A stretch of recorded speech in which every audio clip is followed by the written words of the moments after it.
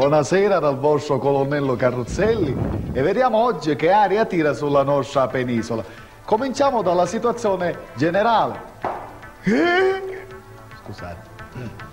Una perturbazione di origine pacifica eh, ma poi burrascosa è presente eh, sulle regioni meridionali. Vediamo in dettaglio con l'ausilio del maresciallo Carrozzelli. Buonasera, Buonasera, grazie. Vediamo subito le immagini attraverso il nostro caro Sussato. Sì. Se la regia gentilmente ci manda in onda le immagini, dovremmo vedere il nostro Ecco, come satellite. possiamo vedere eh, le zone di maggiore perturbazione sono indicate Sì. sulla nostra cartina. La situazione del tempo al nord, sereno, Certo. sereno con riciclaggio stabile notte tempo al solito. e al primo mattino branchi di nebbia densi alle frontiere. Certo, quindi si può anche fare una certa attività Sì. di import-export per chi vuole Bisogna anche queste cose. organizzarsi un attimino. Una notizia molto importante. Molto importante poiché neve è prevista a Catania. Sì, è Neve prevista neve a in Catania, in particolare al porto, Ecco. in particolare dovrebbe arrivare intorno alle 22.30, 22.31. Ora non possiamo essere Ma precisi, questo mi sembra al banchina minuto. numero 4, organizzarsi per questo straordinario evento. La situazione dei venti. Ah, i venti, certo. situazione dei venti soffiate da moderate a forti in Sì, Calabria. sì, e che inevitabilmente si svilupperanno in raffiche, come si può vedere